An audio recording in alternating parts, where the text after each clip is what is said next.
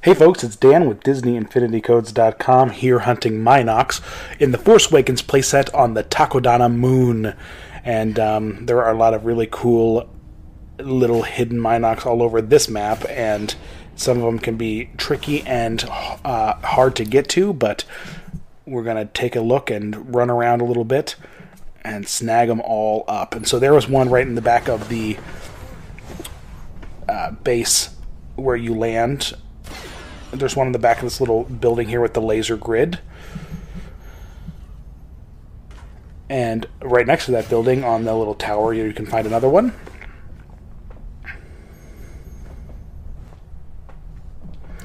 Then these uh, platforms get a little confusing, so you're just going to have to run around and do your best to find them all and uh, keeping in mind that there are some that are located on the back of some platforms that can only be accessed by you going to a completely different section of the map and turning around and trying to shoot it.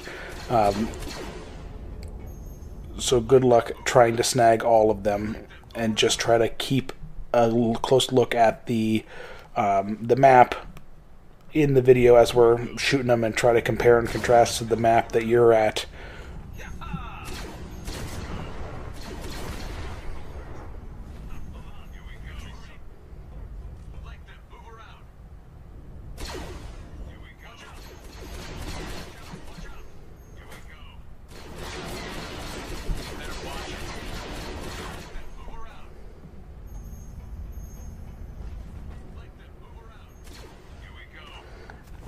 Some of them are located up pretty high, so you have to stand back a bit to, to snag them.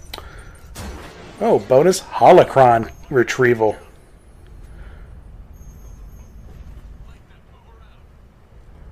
And right next to where you find that one holocron is where you will find the other another Mynock.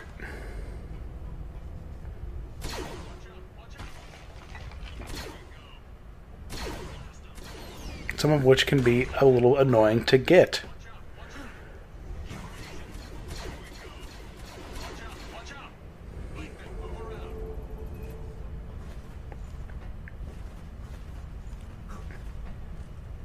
Here's another one. There's one that flies around the entire uh, planet, moon. So you, depending on where he's at, you just have to keep an eye in the sky for him to be flying by. So there you go. Hopefully this will help you find all your hidden Mynocks. There's another one flying around. Thanks for watching and visit us at DisneyInfinityCodes.com.